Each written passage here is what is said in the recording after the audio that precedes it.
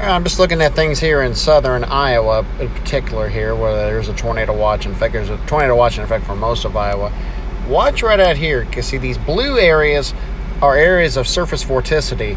What you want to have is um, you want to you want to have a good area of surface vorticity and zero to three kilometer um, mean level cape kind of overlap each other. Right toward the end there, see how kind of everything kind of blows up right here? You'll see 125 right there, right there.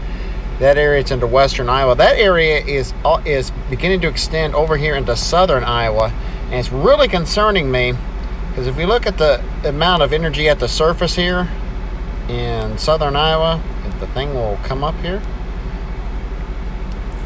4,500. Look at that. 4,500. I think I know where I'd be if I was chasing tonight.